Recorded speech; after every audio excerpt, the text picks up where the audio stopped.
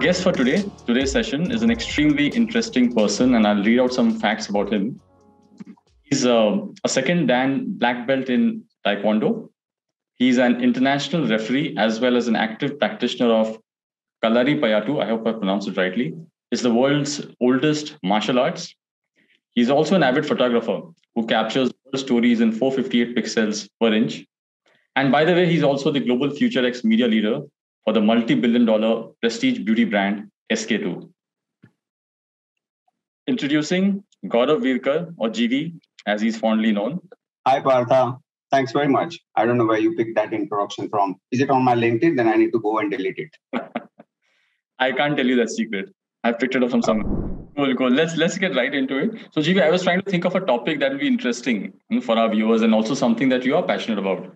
So, and I know you're extremely passionate about building luxury brands through storytelling.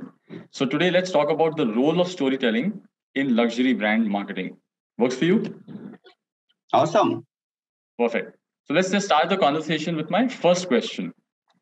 Purpose is something that is clearly very important to SK-II, right? And we saw it during the Versus and the Centurion campaigns during the Olympics last year. So, what has been the process to ensure that authenticity runs through your messaging in all your campaigns? You know that that's a that's a great question, uh, uh, Partha. I think before I talk about uh, our purpose-driven marketing and what purpose we stand for, a very very very brief uh, background which drove to this uh, purpose, right? Uh, so SK-II's discovery story is pretty fascinating. When a bunch of scientists were roaming around in Japan, in Sake Brewery, they found that uh, they were really old workers, 80, 90 year old working, and their faces were all uh, wrinkled. Uh, but but uh, rice bowls in which they were working, when they observed their hands, they were like 20, 25 year old hands, right? So, so not a single wrinkle there and they tried to figure out what's the reason behind that and they figured out that that, that was the origin of uh, SK-II which is the specific dna from that yeast which help preserve the, the skin in its most basic crystal clear form right uh, and that discovery is now 40 plus year old i think one thing that has not changed for SK-II uh, is in 40 years we have not changed our uh, the product's DNA or product's basic formula, right? Uh, so we don't launch any uh, changes now with improved formula with more vitamin D, blah blah blah. All of that kind of uh, uh, marketing is is not there. And SK-II being the such a heritage brand, it always needed to stand for something higher and something which is time tested and and uh, yet contemporary, right? So it's, it's making you meet both the worlds, and that's where the uh, purpose of uh, Change Destiny was born. And some of the campaigns that you uh, talked about, which is the latest Olympics, uh, Centerlane uh, campaign, etc. Uh, I think they play a, a very pivotal role in SK-II's uh, storytelling and the purpose we stand for. So the purpose of SK-II is essentially about empowering women to, to let them know about the issue and let them decide uh, what they should do, whether they should do uh, anything about it. Very interesting. so that basically is, is how SK-II's uh, purpose-driven marketing goes, and, and we stand for that entire change destiny identity, and we keep coming back uh, with the campaigns uh, which which talk about uh, that particular and it, it is the central part and and it is different. I mean, the one year that I have spent on SK-II as the global director, I've realized it is it is a very different way of marketing, and very few brands do that today. You know, this whole uh, purpose-driven marketing, uh, brand building is not something which many brands do. Uh, so it's, it's a rare brand, and obviously, brand is doing well because of the heritage that it's had over, over the years. Yeah, it's true. I think I see many brands. I think uh, I don't know. Uh, we, we, we in the media world we typically try to divide and uh, paint picture into hey this is brand building this is performance marketing and, and a lot of people and brands are currently going after the performance marketing especially after the covid times and the marketing roi has come under scanner i think one thing that we have realized is the brand building and performance marketing are actually two sides of the same coin. And in the long run, what has always helped uh, uh, SK to grow uh, from a Japan brand to an international brand across 10 plus countries now uh, is basically ensuring that we are not taking our bar for uh, off the ball of brand building. Uh, and that actually helps us improve our performance marketing ROI exponentially well. So, so which leads to my next question. So, how is SK-II's how is SK-II using the art of storytelling to connect with the luxury consumers? And I know consumers is the heart of everything that you do. So, how does SK-II use this art of storytelling to connect with with luxury consumers? Uh, yeah, no, I think that's that's an interesting one, and you have been part of the journey along with uh, Mediacom, uh, where it started, uh, and, and you guys are the uh, co-creators of this entire journey, which has now become quite iconic, just like the brand. But uh, when you talk about um, uh, storytelling, right, uh, it goes back to the first uh, point that we were talking about. What really is the purpose, and if the purpose is about empowerment and I often quote this. So, so at my home, the parenting style for me versus my wife is is very different. Uh, kind of a taskmaster. So when I'm I'm talking with my kids, it's it's very clearly do this, don't do this kind of. It's it's very very prescriptive, right? Uh, versus my wife, uh, who's HR director, she typically has this descriptive style of uh, telling them what the issue is, telling them what the situation is, and letting them decide. Now, obviously, she doesn't uh, let them decide and she gives them two options to choose from both are in her favor. But but keeping that part aside it, it, it still it still is about uh, being descriptive and believe, be, believing that you will get long term results. Uh, and in a way in a way i've seen that that has worked out uh, because i while, while my my directive uh, style fetched short term results and immediate ones but in the long run I think I think her style is right, is what I'm believing in, or I'm, I'm meant to believe. SK-II storytelling is in a way uh, something similar. So what SK-II is is doing is uh, for now over 40 years uh, when we have taken stand about various uh, issues concerning the the women uh, across different parts of the world. Uh, SK-II is a, a unique mix of global and local. Uh, and we, we, we, we do this storytelling uh, mixing both. So there could be a local insight coming out of one market, which we will take to the global stage. Or at times there will be some of the global orchestration which will happen in a very, very focused uh, uh, uh one or two markets only. And we discovered a lot of interesting things uh, as part of this global plus local storytelling journey behind bringing our purpose to life. So the traditional wisdom, for example, was uh, that especially in linguistic markets like Japan uh, or Korea, only the local celebrities uh, will work best. So they obviously yes, they, they do work best.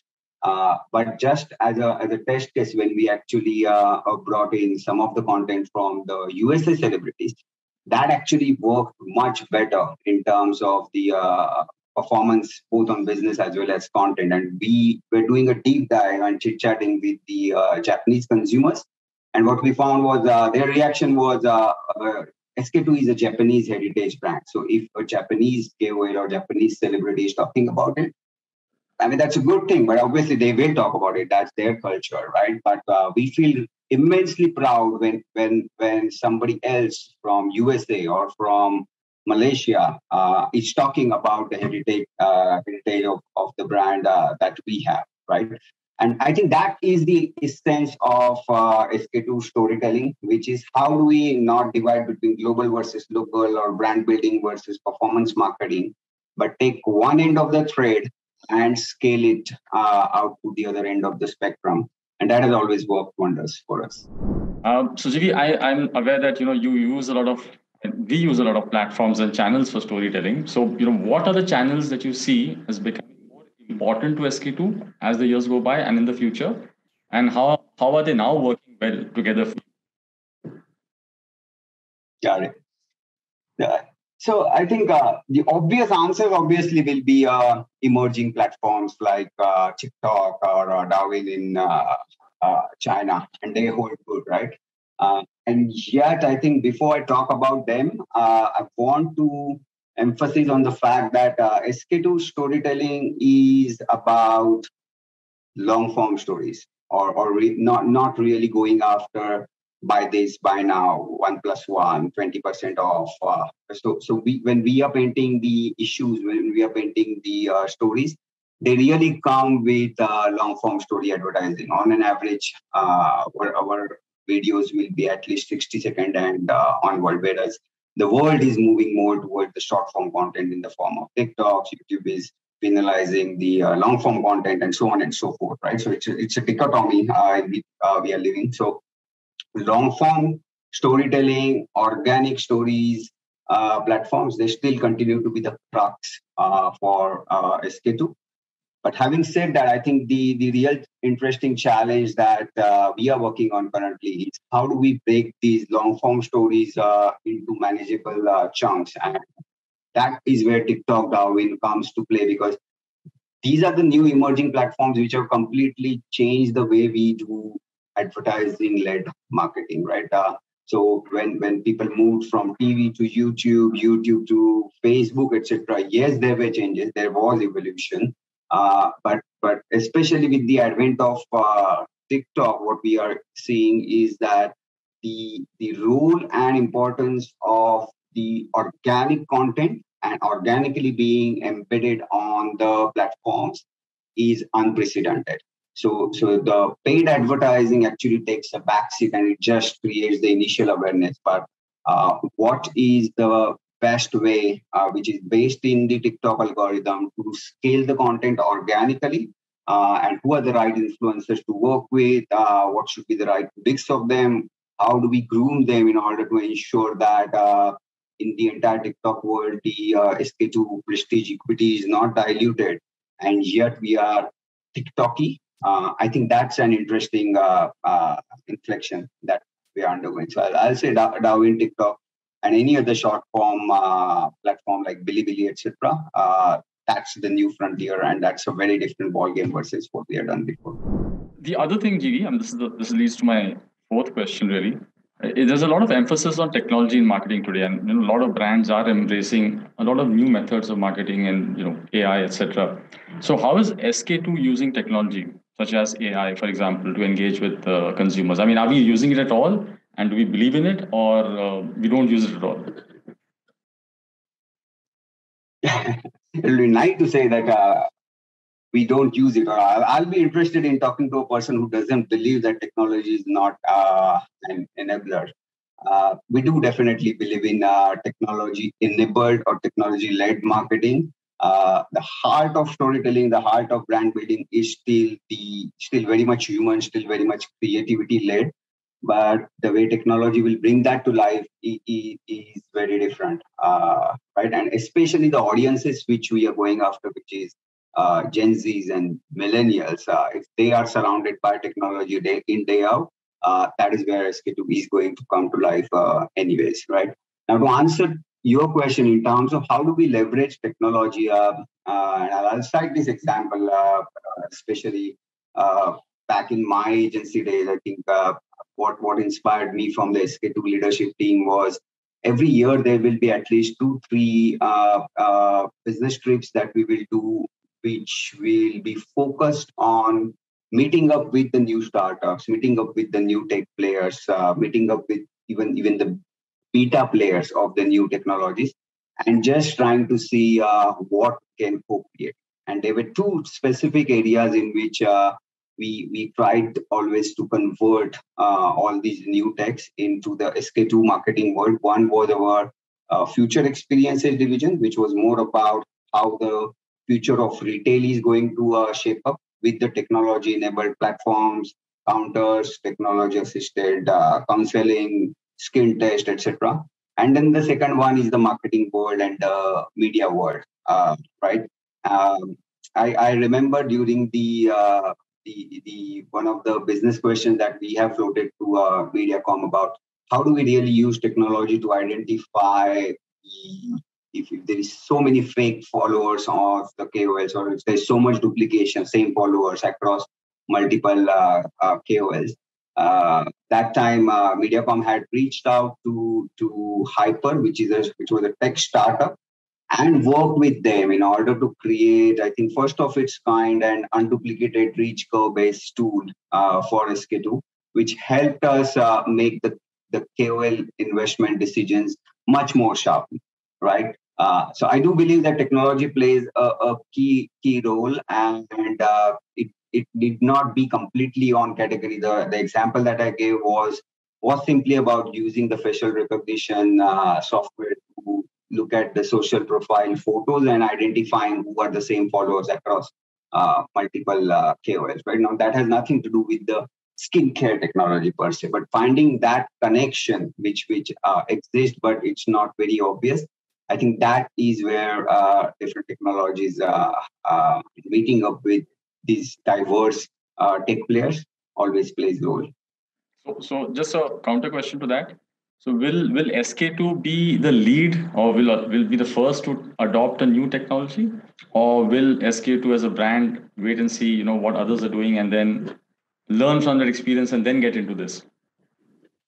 uh, I'll say it's 80 20. Uh, 80% of the time, uh, we will like to take the lead, and uh, it's, it's not because you want to uh, break the new frontiers, and obviously, all of that is there. But especially uh, from the, the brand perspective, we are trying to play in a category which is in itself uh, not a developed category in many parts of the market. So, so SK-II uh, facial treatment essence, essence as a category as part of the skin regimen is not evolved.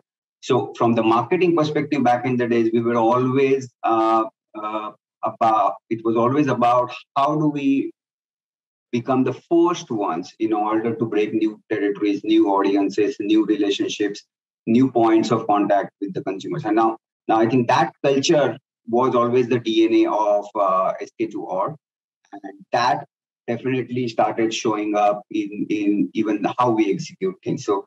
And another constant that uh, SK-II always lives with is, uh, unlike many other brands who have the privilege of launching new innovations, new product line extensions, new packaging, new improved formula uh, every year or multiple times every year. Uh, like I said, SK-II does not have that privilege. So that means the only thing that we truly can change is, is about how do we do our purpose-based marketing and media differently versus uh, before without changing the product. Product is the same. Uh, and, and, and I think that is why we are always reaching out to the industry publisher agencies to find the new tech and that's 80% i think the other 20% is uh, where we there are times when actually we we take a back seat uh, let's say in media world. Uh, when we will do a small ab kind of a test but for the truly uh, scaling up something meaningful investment there are times when there is there is uh, the advantage of being the second player rather than the first player uh, and you can learn from somebody else's mistakes. So true true. Since we talked about technology and and the new consumers and like you said SK-II has is a is a mature brand. It's, it's a 40 year old brand uh, uh, it's got a rich heritage. But given that technology is changing and there are new consumers there's a ye generation where do you think SK-II's future growth will come from?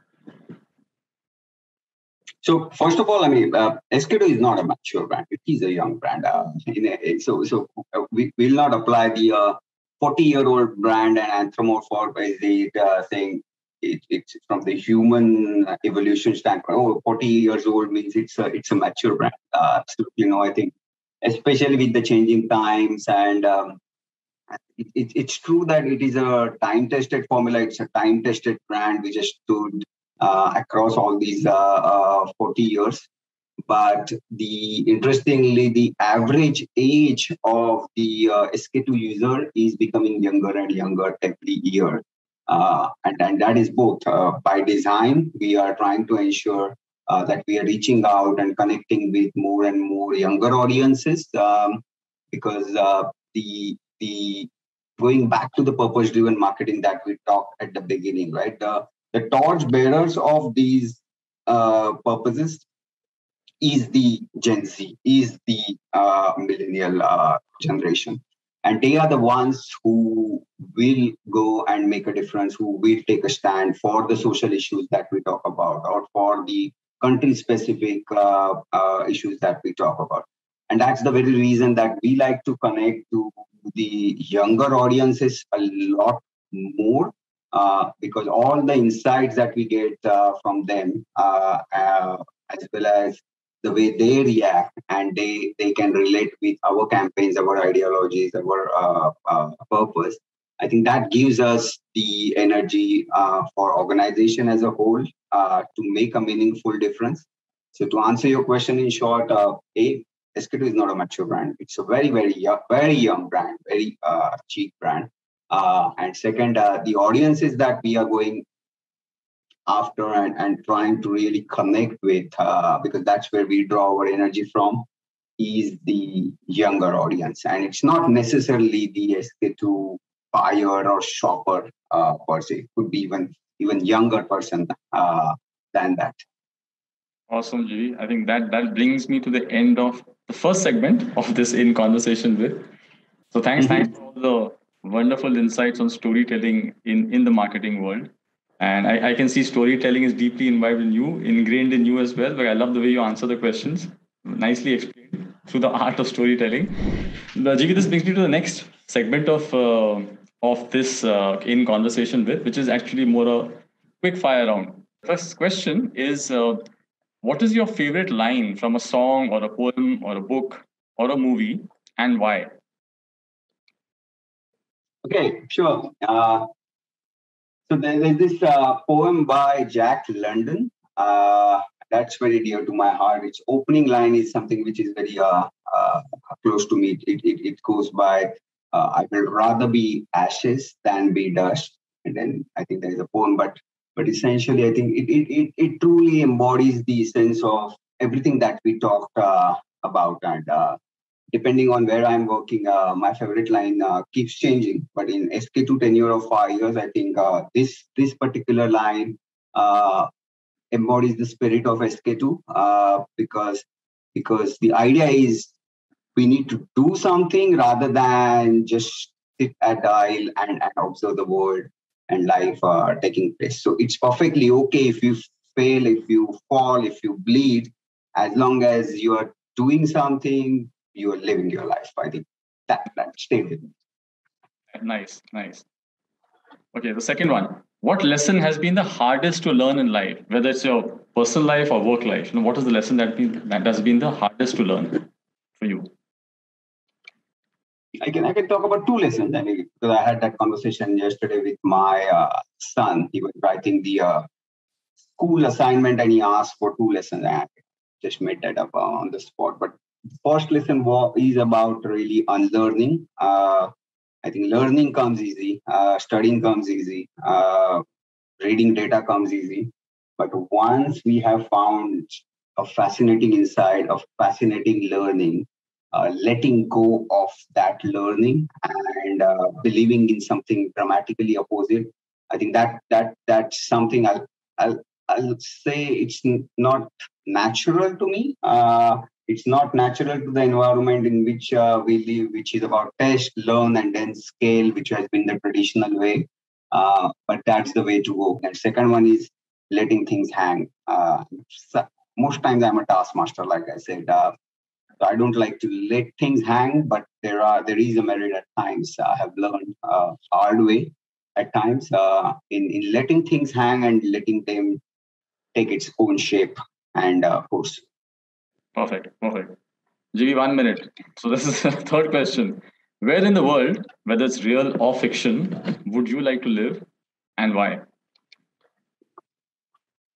There's this place uh, off uh, Sydney uh, called Blue Mountains. Uh, Been there now at least six times, and every time I go there, uh, something there connects with me very, very deeply you you come to the end of the town and there is a million years old rainforest intact till the horizon. Uh, I love to live there. Nice, nice. Hope you get the option to do that after you retire or even before you retire. Thanks a lot, GV. That brings us to the end of this conversation, uh, in conversation with the first one in APAC. So thanks a lot for your time and thanks for all the interesting snippets that you shared with us again.